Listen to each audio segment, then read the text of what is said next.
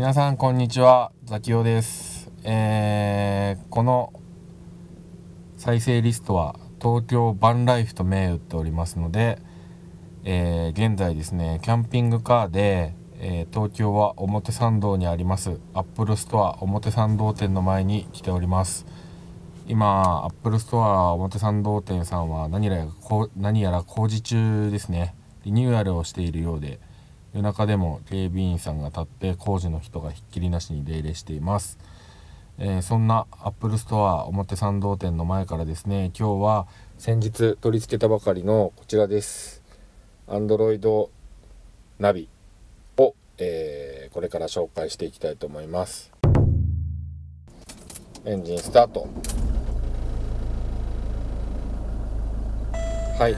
とりあえずですね一番最初にこのフィアットのロゴから入ります、えーこの機械の中に世界中の車メーカーのロゴが記録されておりまして、えーそれを好きに選んで使えるようになっています。多分許可は取ってないものと思われます。いいんでしょうか？さすがは中華製です、えーでこのように Android が、え起動します。とりあえず起動待ちですね。えーとりあえず今もうエンジン音楽がかかってしまいましたが一度音楽を止めてかな止めて、えーホーム画面に戻ります。とりあえずこれがホーム画面でよく使う機能がここに並んでいます。ナビラジオ、えーフォン。これは Bluetooth のマークがついてる通り、えー Bluetooth スマホに Bluetooth でつながってハンズフリーなどで会話ができます。でミュージックとビデオ。とりあえずこの5個ですね、えーついてます。ではまずラジオから見ていきます。ラジオはこちらです。えっ、とご覧の通りえー今80.0は東京 FM さんですね。流れています。で、えー FM と AM が聞けてこれもあのワールドワイドなラジオのバンドに対応してまして設定で、えーエリアを日本に設定することで日本の FM の周波数が、えー取れるようになります。日本は 76MHz から 90MHz までが FM 放送の FM のラジオ放送の、え周波数帯ですのでちらをし、えー受信できます。で今これ80.0は東京 FM81.3 が NAC5 みたいな感じでここでこう82.5が例えば NHK だと思うんですけど。はい。NHK ラジオですね。でこれをこのように3を押すと覚えさせることができます。これでワンタッチで選曲が可能になります。FM 局はね出ないですね。でえー次ですね戻ります。ねミュージックとビデオに関してはこの USB メモリーこれを、えーさこの中に音楽とか動画を入れることによってこれで読み込むことができます。で先にミュージックをかけると、すでにかかってますけど、えーこのように音楽がかかります。先日付け替えたスピーカーがあるのでだいぶ音的にはいい音が流れます。でこういう風にしてまあフォルダごとに入れてるのでフォルダ名が表示されますね。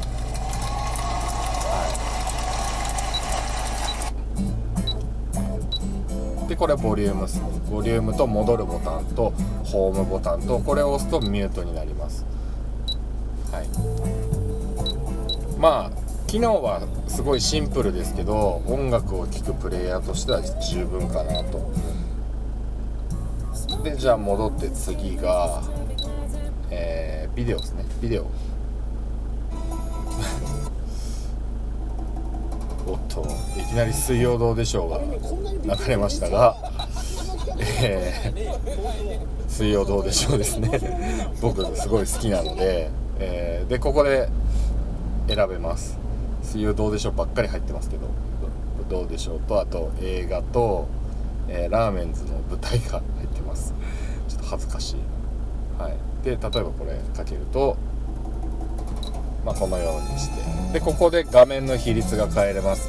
これ今現在4対3ですけどえー16対9にもできるしこれはねソースの大きさがそのままですね。画面引き伸ばさずにこのデータの画面の大きさがそのまま出すモードと、まあ、引き伸ばす最大に引き伸ばすモードとこれが4対3のモードということではい。まあこんな感じですね。でここでこう飼育ができますね。あーじゃあちょっと悪いが洗うぞ。洗って洗ってこい。ここにもやってみたんだけど。非常に痛いな。小泉さん。それは乱暴な。はい。大泉さんが大変なことになっています。熱い。はい止めます。で、えーメインのここの画面はとりあえずこれだけででこれをこっちに移動するといろんなアプリが、えーインストールしたアプリが出てきます。でえっととりあえずテザリングをしますかね。えーっとこっちのスマホの方で、えーインターネット共有をオンにしてここ設定まあ Android 変わんないですね。ネットワークとインターネットで w i f i を選ぶと多分僕の電話を拾ってくれると思うんだけどあ拾った。これザキオズ iPhone は僕の iPhone なんで今とネットワークがつながるとここの電波マークがオンになります。ナビとしては今一応 Google マップとあと Yahoo カーナビを入れてみてます。なんか噂によるとトラックナビっていうアプリがいいらしいんですけど要はこの車でかいので Google マップだと本当にすごい裏道を案内されることとかあるから、えー今回ですねこの Yahoo カーナビっていうのをこの間入れて今試してるところです。でやっぱ Yahoo カーナビの方が幹線道路をよく使うような道を、えー優先して案内してくれるみたいですね。Google マップは本当に車1台通れるかどうかみたいな裏道を案内するのでちょっとさ今は避けてます。一応入れてるけどね。あと動画に関して言うとこの YouTube とプライムビデオこれアマプラですね。アマプラとフルと音楽もので Spotify が入っています。でまあプレイス Google プレイストアでどんなアプリでも対応してればゲームでも何でも入るのでまあ拡張性の意味では普通の売ってる普通のナビとは比べ物にならないほど多機能になりますよね。例えばこれ YouTube だとえー履歴じゃないな。まあこれ今僕の最近キャンピングカーの動画ばっかり上げてますけどこれ普通に普通にこう見れますね。はい。はい。で例えばアマプラだったらそうですね。まあ何でもいいか。アニメ。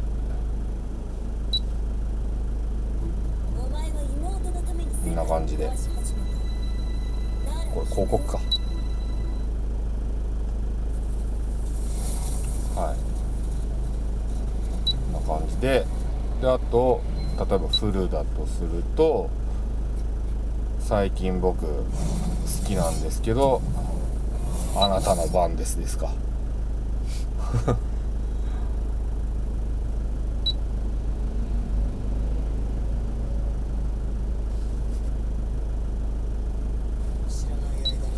はいこんな感じで。もう何でも見れますんで本当退屈しないっす。で例えばこれでえっと Google マップでね例えばそうだな。代々木公園。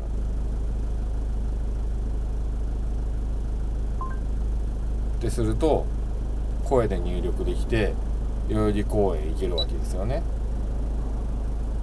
はいあ経路じゃないなこれナビ開始ですね。これでナビが今開始されるわけなんですけどこれね Google マップだけは Yahoo カーナビならないんですけど Google マップやっぱ Google のもんなんでこれだけはねちっちゃくなるんですよ。こんな感じで。でちっちゃくなってるところで例えばこのフルでフルでも何でも YouTube でも何でもこれを見ながらこうやってでこれもねこう好きなところに動かせるわけですよこう。こうやって見ながらナビ画面も表示できるのでとてもいい感じです。な。んかちょっと残酷な映像が流れてますね。ねあなたの番です。真犯人は誰なんでしょうね。もう気になって夜も眠れません。はいあとはえっ、とここ。あまずこっちかな。じゃあこっちで。これ道案内はとりあえず終わって。であとねまあ Android 標準の機能としてメールだとか音声レコーダーとかカレンダーとかもう何から何までもう Android そのままですね。はい。であとここで、えー例えばカラー LED ですか。これでねここのボタンの色が変えられます。なのでどんな内装の色の車にも合わせられる感じですね。僕の車はこのようにこのようにこのイルミネーションがオレンジなんでそれに合わせてこっちの色も赤で合わせています。はい。とかあとはこれ EQ っていうのはイコライザーですね。イコライザーも何個かあってまずこれは真っ平らフラットポップイージーリスニングロッククラシックジャズでユーザーみたいな感じでこれが選べます。でここを押すとまあこれカーオーディオにもありますけどこの何ていうんですか音上定位っていうんですかね。こうこう前の方にやれば、えー前からしか音が出ない。ちょっとかけてみようかな。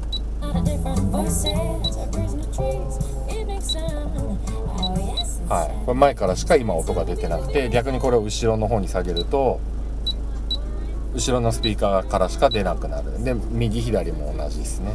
で今これセンターにしときます。あとこれラウドネスっていうのは音量が低くなるほど低音を増強する機能ってありますよね。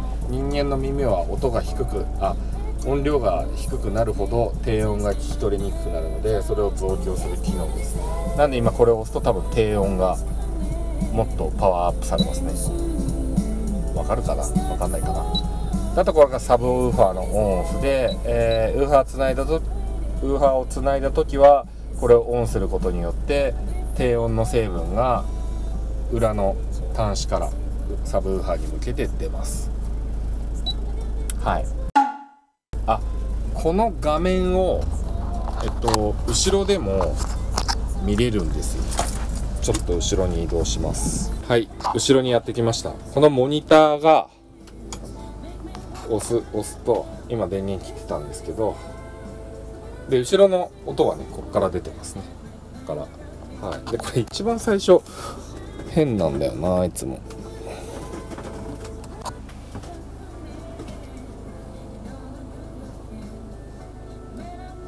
はい。出ましたね。音もちょっと出ちゃった。出てますけどちょっと音を下げますね。この辺ね PC モニターなんでちょっとややこしいんですよね。はい。こんな感じかな。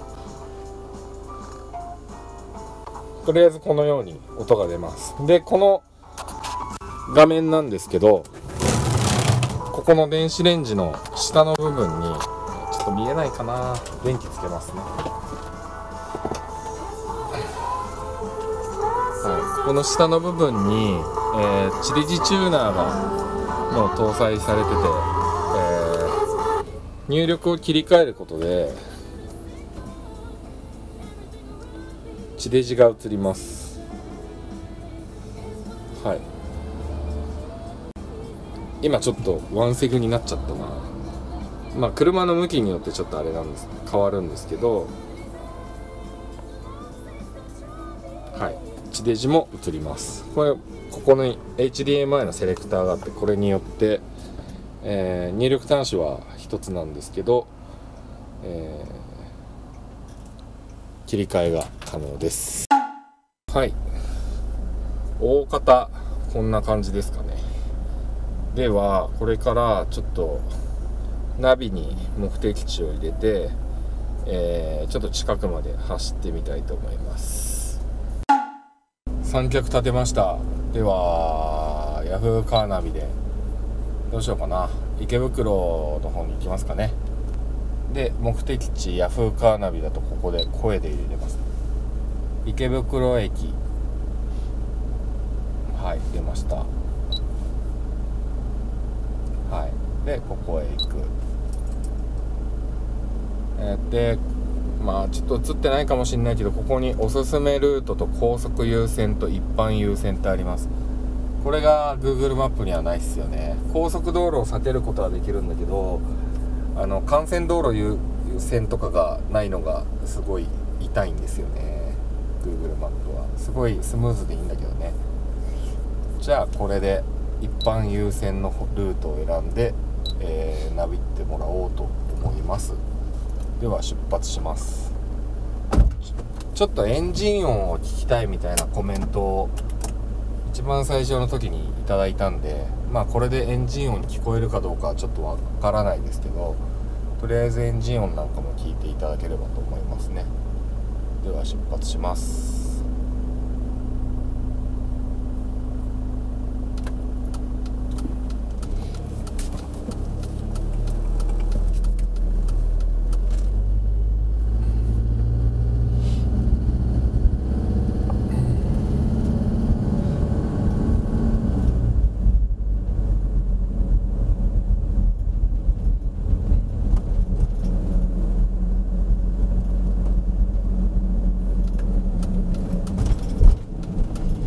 とりあえずこの表参道の前を U ターンですね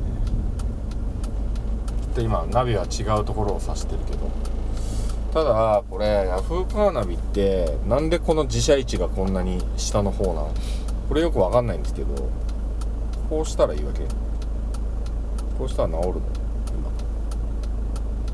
今。案内再開。案内再開を押すとやっぱこれ下に行くんですよね。これ意味わかんなくないですか？なんで？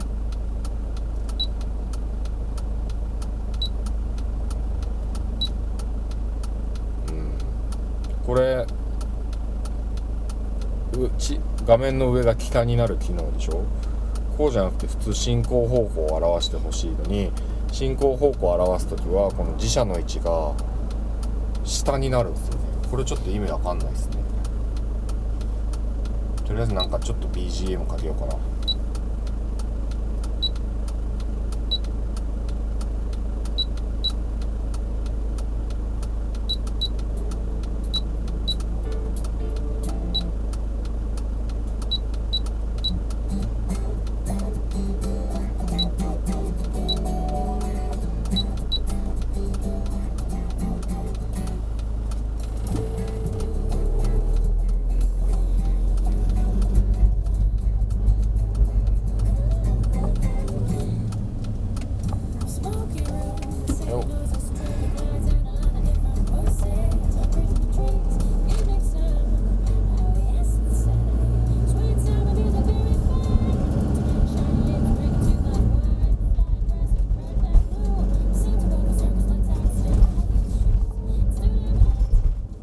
ですねこの動きが。あ治った。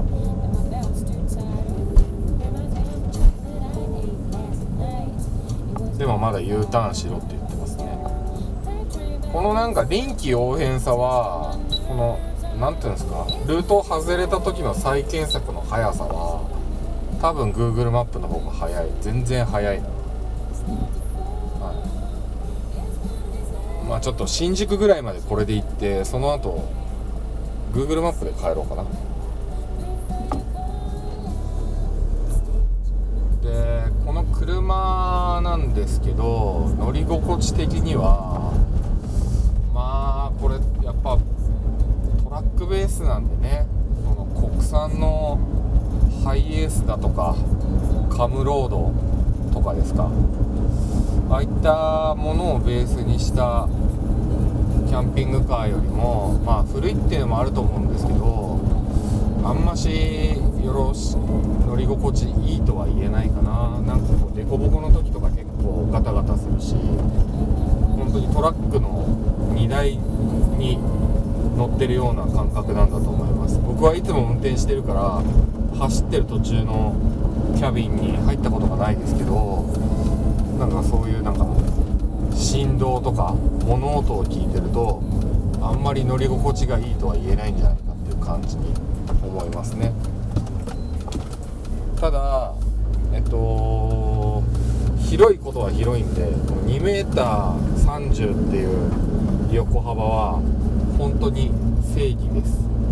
運転慣れてさえしまえば多分国産のキャンピングカーよりもわずか3 0センチか4 0センチ広いだけなんだけどかなり室内空間は広く感じますね。あ Google マップも一緒にナビをしてたみたいなんでこれとりあえず終了しよう。終了しました。はい。だからまあ目的地についてキャビンに移動してしまえば本当にもう広いし家と変わらない感じでテレビもでかいしネットはつながるし。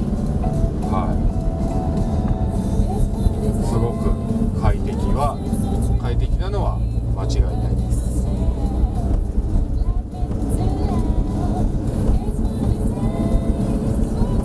夜なんでねタクシーがいっぱい走ってきますよ。車遅いんでね。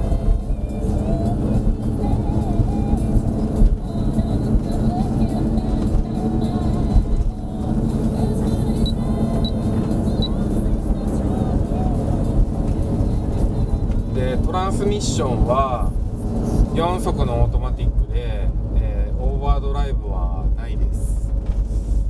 でディーゼルなのでトルクは太いから結構2速と3速の速度域がものすごい広いですね。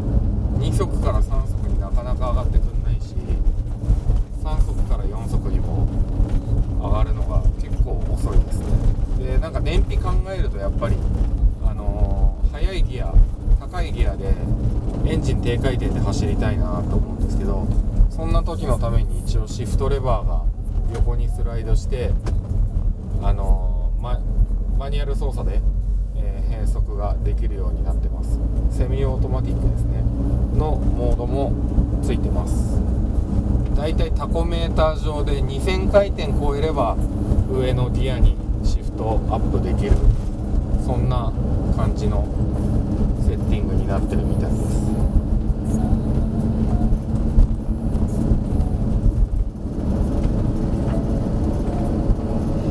と燃費は僕デリカあ昔のデリカスペースギア D4 に未だにもう1台持っててそれに乗ってるんですけど、えーデリカスペースギアの方はガソリンの 3000cc V6 のエンジンなんですが、えーそれよりも乗り心地はいいです。あ乗り心地じゃないや。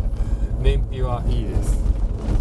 リッターあたりだいたい8キロか9キロぐらいですね高速道路での航続距離が500キロちょっとかな燃料タンクが65リットルぐらいなんで多分リッター 8. 点何キロですでデリカも1リッターあたりの走行距離は同じぐらいなんだけど、えーこっちのキャンピングカーは軽油っていうこともあって燃料費が安いんで多分2割か3割ぐらい、えーデリカスペースギアより燃費がいいです。ちなみにデリカは2トンこっちのキャンピングカーは3.3トンあるんですけどね。それでデリカより燃費がいいっていうのはもう、まあ、すごいっていうかデリカがどんだけ悪いんだっていう話になるんですけどはいそういう感じで。す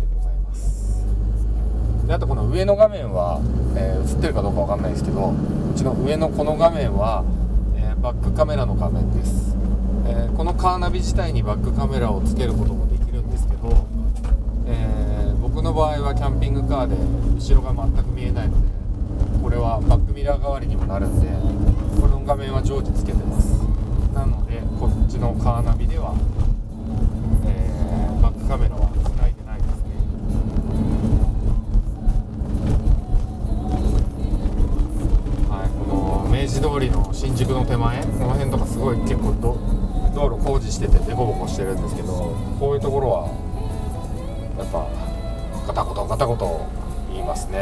乗用車の方が全然乗り心地いいと思います。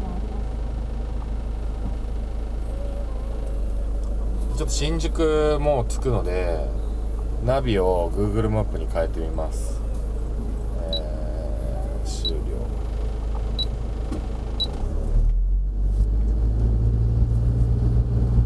目的地を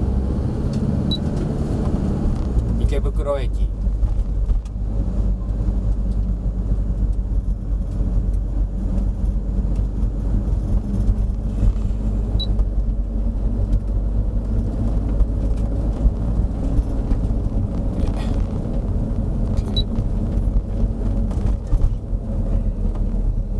ナビ開始と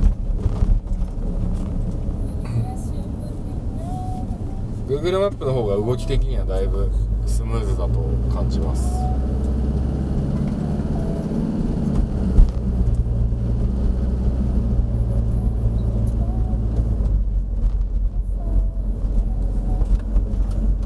ただどの Android ナビにも言えますけど車速センサーあ車速の信号車のスピードの信号が入ってないじゃないですかで位置情報を知るために頼りにしているのはあの GPS アンテナだけなのでまあナビのナビの精度っていうかトンネルに入って GPS が効かなくなると止まったりするしそれはまあスマホのナビもそうだと思うんですけどまあ仕方ないところですよね。それはありますね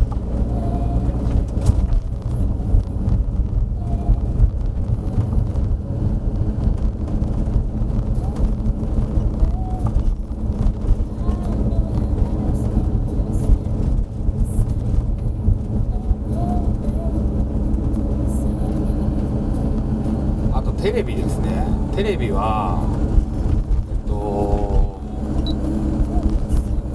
ここでこの AUX ってオグジュアリー外部入力端子なんですけどここにすでにテレビがつないでます。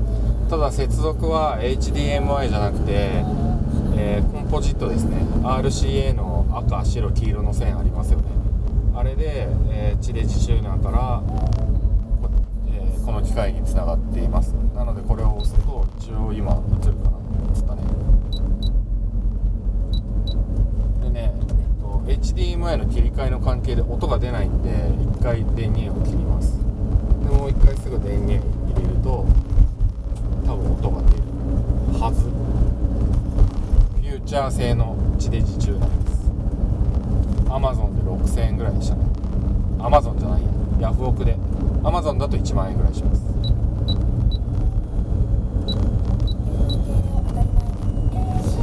はい。音出てます。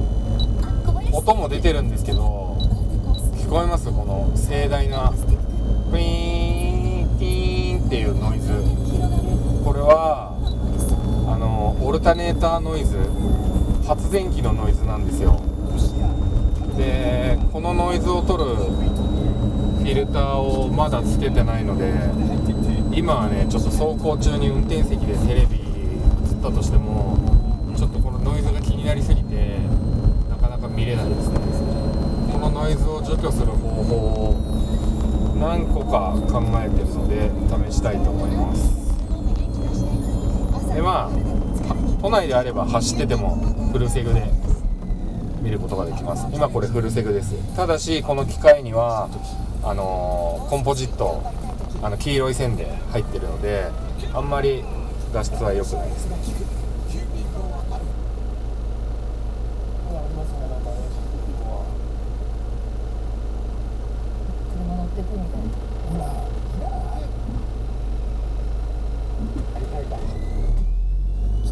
ねこのキーンっていうノイズ。エンジンが止まって後ろでテレビ見るときは何の問題もないんですけど。行中運転席では見れたことじゃないですね。